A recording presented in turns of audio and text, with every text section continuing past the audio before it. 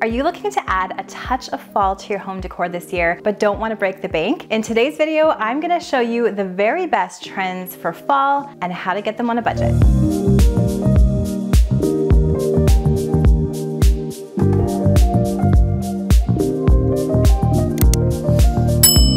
Hey there, it's Christina from the DIYmommy.com. Fall is definitely one of my favorite seasons. I know a lot of you are fallaholics too, but I don't wanna be spending a ton of money to switch over all of my decor for the season.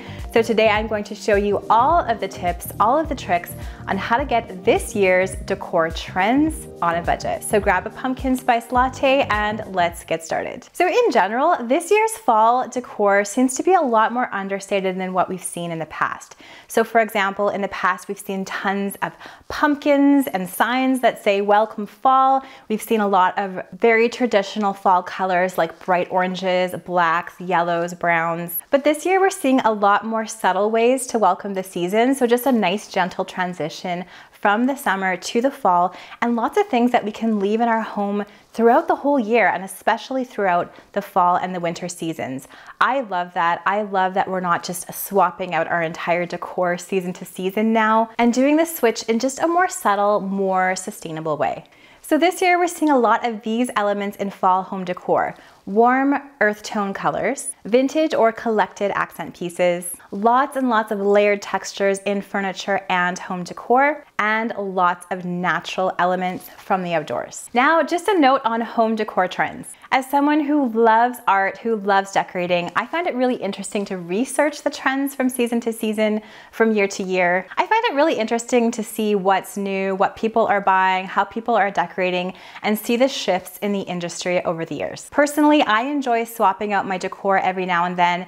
If number one, I love the trends that are happening right now, and if number two, I can afford it. As a general rule though, you know your family best, you know your lifestyle and yourself best. So you should decorate for you and your family no matter what's trending. If you love one of these trends that I'm sharing with you today, go ahead, give it a try. I'm gonna share ways that you can do it affordably. If you don't like any of these, decorate your home exactly how you want it. You live there and you have to feel comfortable in it.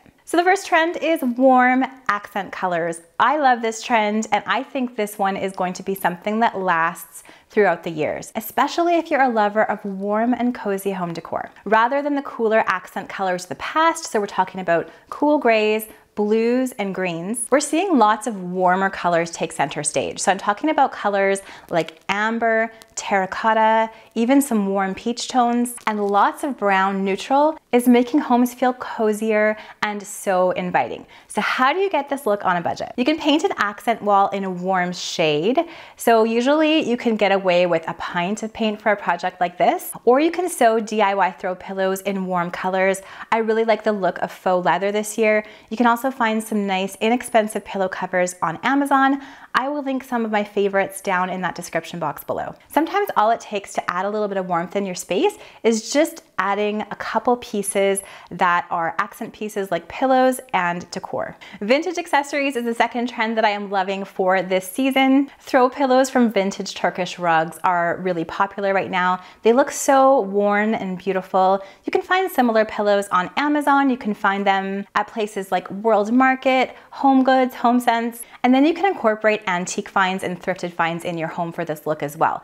Look on places like Facebook Marketplace, go to a thrift store, go to an antique store. You can find a lot of things like little side tables, dressers for a really great price that have that beautiful worn vintage look. I have a blog post that shares with you my favorite 31 pieces to always look out for when you're going to the thrift store. I will link that down in the description box below, but always keep your eye out for things like wooden bowls, golden picture frames, brass accents, and even textiles that you can upcycle into things like throw pillows. Going to the thrift store is one of my favorite ways to incorporate this vintage trend because it's not only a great way to save money, but it's also good for the environment because we're reusing rather than buying something new. So my favorite place to find vintage accessories would be thrift stores, so Goodwill, Value Village, your local thrift store, the antique mall, garage sales, yard sales, and Facebook Marketplace. Definitely check that out every couple days to see what's new there. The next autumn trend that is fantastic this year are dried grasses and florals. And this has been going on for the last year at least.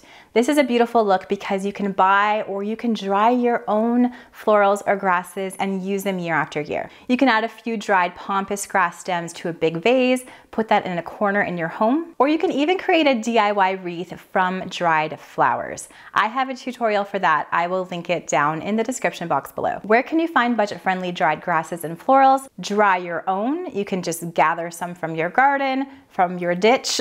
Sometimes I have some really nice weeds that actually dry into nice florals. You can also press them in between a book and between sheets of newspaper and have some pressed florals for decorations. You can use a coupon and find them at Michael's. There's some on Amazon that are surprisingly nice looking as well, and I will link those down in the description box below. Another trend that I'm loving for this season is cottage core. So this is essentially a Gen Z spin-off of cottage style. So it's really not only that cottage style, so lots of antiques, lots of whites, lots of cottagey accents, but it's also a lifestyle. So making your own bread, baking, having picnics. I just love this whole aesthetic. I plan to incorporate this look into our tiny lake house renovation. It's so perfect for an actual tiny home cottage, but it's also great to incorporate into any home. It just kind of gives that nice handmade personal feel. So here's how to achieve the cottage core look in your own home. So incorporate those thrifted and antique accents into your home. You can DIY things from scratch like pillow covers and curtains. You can even use vintage bed sheets for these DIYs. And then finally, you can bring nature inside your home. So you can grab some clippings from trees in your yard, incorporate some branches into a beautiful vase, collect flowers and bring them inside, put them in vases on your table, on your coffee table, or you could even do something like press ferns and create some art for your mantle or your shelves. Velvet fabrics are also trending this season and I love velvet. I've loved it for so many years. I think it looks so beautiful. It has that vintage vibe to it, that more opulent vibe, but it's also so comfortable too. Of course, something like a velvet sofa or a velvet chair is beautiful, but you don't have to drop a ton of cash to incorporate velvet into your home. It could be as simple as sewing a DIY velvet accent pillow, popping that on your couch, or if you go to the thrift store, again, you're gonna find a lot of actual velvet pieces, even if it's just something like a vintage chair with a velvet upholstered seat, that's gonna add a lot of texture and interest to your space. Don't forget to look in the clothing and textile section in your thrift store to see if you can upcycle anything that has a velvet texture into throw pillows, placemats, or any sort of home decor accent. The next thing that's trending this year is tons and tons of texture.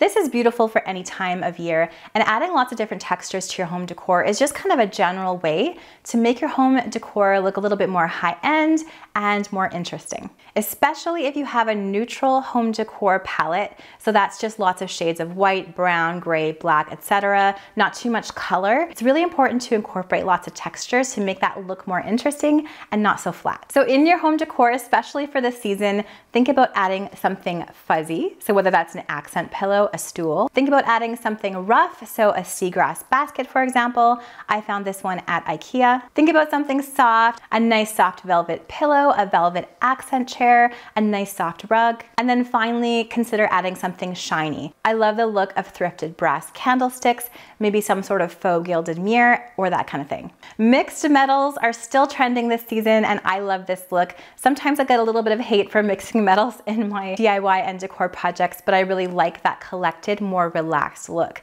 So we're not just seeing one metal in our homes anymore. So everything being brushed chrome, everything being gold. People are mixing and matching their metal accents to give more of an interesting look.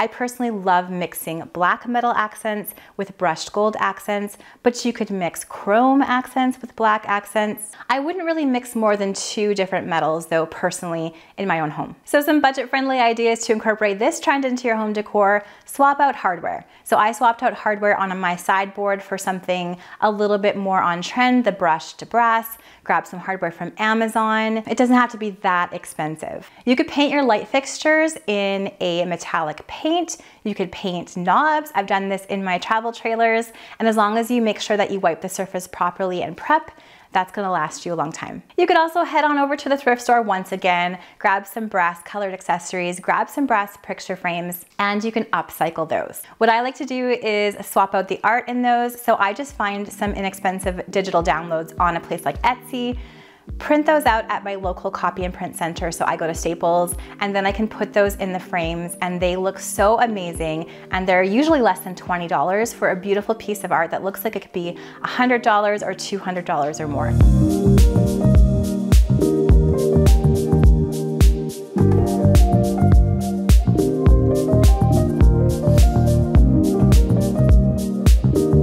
So much for watching today's video. I hope this list inspired you as you decorate for fall. Don't forget to only pick and choose the trends that you absolutely love, that you can afford, that work with your family and your lifestyle, and incorporate those in a way that works for you and your family.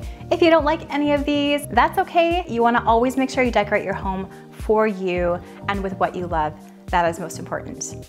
If you like DIY and decor ideas on a budget, make sure to subscribe to my channel. I'm gonna leave some more videos that I hope you will enjoy watching next, right up here.